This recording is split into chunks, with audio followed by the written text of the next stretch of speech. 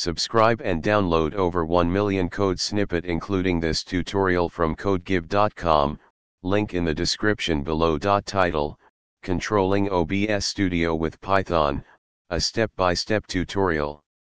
Introduction Open Broadcaster Software, OBS, Studio is a popular open-source software for video recording and live streaming. In this tutorial, we'll explore how to control OBS Studio using Python.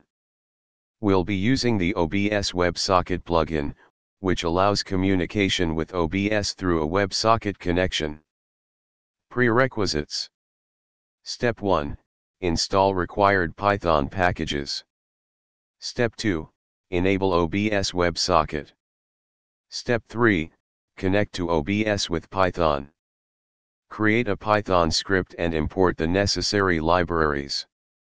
Step 4 Basic OBS control functions. Let's implement some basic functions to control OBS.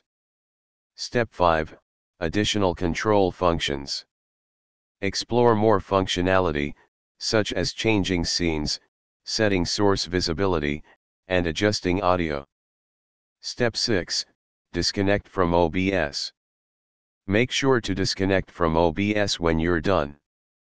Conclusion This tutorial covers the basics of controlling OBS Studio with Python using the OBS WebSocket plugin.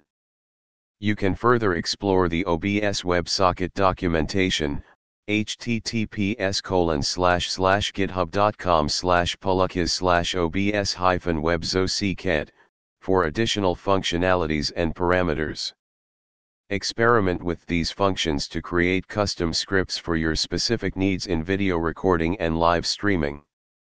ChatGPT